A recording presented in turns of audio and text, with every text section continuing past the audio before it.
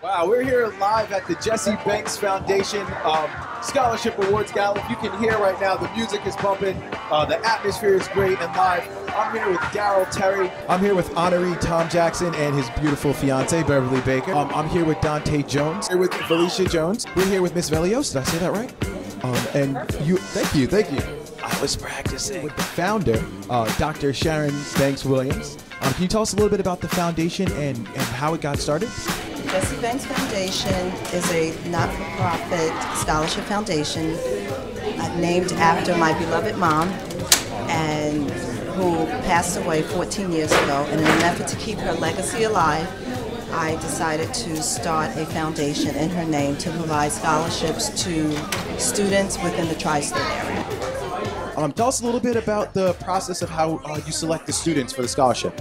Well, we first send out, in the last few years, we've really expanded our reach by sending out applications to schools all over the tri state area.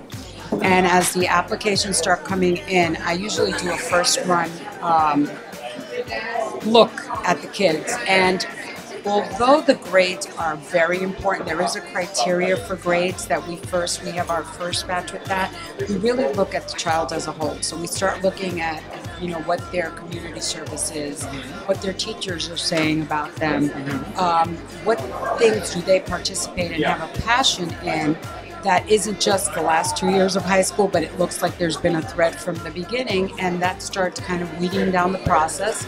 And then once I get to about 20 or 25 candidates, I ask a lot of people to read the applications with me and help me out because it's almost impossible some years to really um, not give the scholarships to all of the kids. There have been years that I really, I'm almost in tears that we don't have more money to uh, give these kids that are unbelievable. That's good to hear because a lot of times in the news or, or the rhetoric that goes on in the in the conversation about the youth is that no one's really trying and that education is you know like a place where there's nothing happening in the community. But this seems to be a really positive uh, thing that's going on that's impacting students. Um, where do you see the foundation going in like the next few years? I hope that we get to a point where we're not only honoring as many children as we are, but that where we'll be able to give scholarships for four years consistent rather than a one you know, one year um, scholarship. Dusha Holmes, we're here live from the Jesse Banks Scholarship Award Gala, Positive Community TV, bringing you the positive news around you.